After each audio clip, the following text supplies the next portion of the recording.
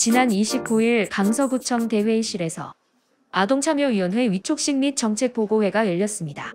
강서구는 아동정책 수립의 당사자인 아동들의 목소리를 적극 반영하기 위해 14명으로 구성된 아동참여위원회를 운영하고 있습니다. 이번 행사에 함께한 진교훈 강서구청장은 제7기 우수활동위원 5명에게 표창을 수여하고 제8기 아동참여위원 5명을 새로 위촉했습니다.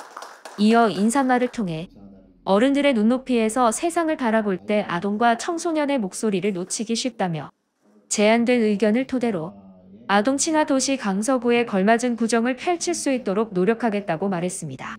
이어진 정책 보고회에서는 제7기 아동 참여위원들이 지난 1년간 아동의 기본권 보장을 위해 추진한 활동 사항을 공유하고 각 분과별 위원들이 환경, 인권 권리, 교육과 관련된 다양한 아동 정책을 제안했습니다.